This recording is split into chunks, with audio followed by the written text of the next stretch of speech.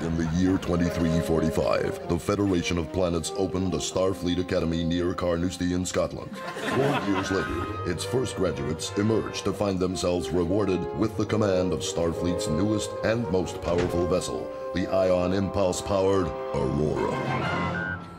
Right, Ensign, he's what Vector 10. We'll open this big bastard up and see if it is shit off a shoulder enough. Nadine, you get your belt soon. No captures wearing belt like a bunch of big poofters. Captain, What? Will you let us go with the replicator? I'm starving. Aye.